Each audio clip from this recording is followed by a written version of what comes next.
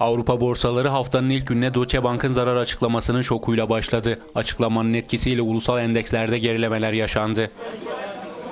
Ekonomik krizle mücadele eden Portekiz, Yunanistan ve İspanya borsaları değer kaybetti. En çok kayıpsa Yunanistan'da yaşandı. Atina borsası %2,29 değer kaybetti. Avrupa borsalarının güne zayıf başlamasına karşın Londra borsası günü yükselişle kapattı. Borsa İstanbul'da ise hisse senetleri ortalama %0,2 değer kazandı. Para piyasalarında euro dolar paritesi ise 1,35 oldu. Türk lirası dolar karşısında değer kaybetti. 1 dolar 2,24 liradan alıcı buldu.